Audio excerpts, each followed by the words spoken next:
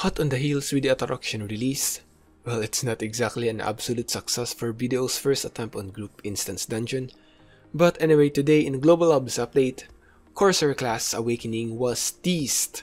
It's been almost a month since the release of the class, and as per usual timeline, we should be getting it in a few weeks from now. Two weeks at the very least, I think. So the Corsair Awakening seems to be still using a sword, a great disappointment to many who wish for a pistol or gunner class, but as PA mentioned before, Gunner class is least likely to happen. And as shown in the silhouette, she's standing tall with a sword in hand, and it looks to be more straight than her current Mareca. But wait, there's more. She also has a cannon, and not just the Berserker's Mega Man cannon, but a whole actual thing. You know the one that you used in Node Wars?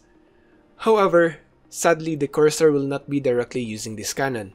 As it says, Corsair is preparing to awaken. The image is not Corsair's weapon, so whose weapon is it? We look forward seeing many of you. Seeing many of you.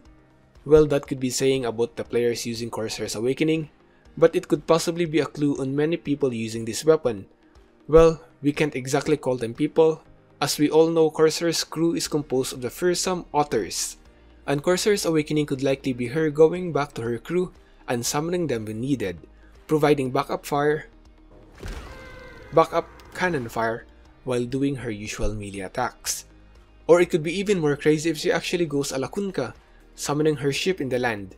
And as we all know, ship on land is already a known technology in BDO, and ship has a cannon, so why not? But kidding aside, yes, it could most likely be otters manning this cannon and appearing whenever she calls for them. Let me know what you are thinking put it down in the comment section below. Aside from that, another change will definitely excite many people as well, especially those who are maining the newer classes. The walk momentum has finally been corrected, or rather, removed. When you move forward or sideward, these new classes will now stop as soon as you stop pressing the button, which many people has been complaining for quite so long already. But being an awakened Valkyrie for so long though, I have been very used to this, but anyway, this is still indeed a welcome change for many. Then the next update is pretty amazing thing again. Seems like the cleansing capability of Underfoe has came in too late, as you can now exchange Blackstones directly to fail stacks. Yes, I repeat, Blackstones to fail stacks directly. It can go from plus 5 stacks up to 30 stacks, with the 30 stacks requiring 84 Blackstones to make. Well, Seems like my plus 20 Advice of Valks will be not so useful anymore. Underblood enhancing days will be a thing of the past. So buy all those black stones in the marketplace as those will surely start to increase in value again. Well those has been pretty major updates so let's look in the other minor updates that might interest you as well.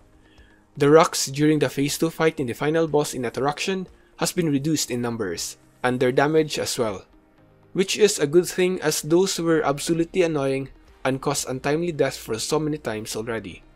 Then the reset time for weekly quests has been changed. Instead of having weeklies reset 7 days after you last completed the quest, all weekly quests will now instead reset on Thursday.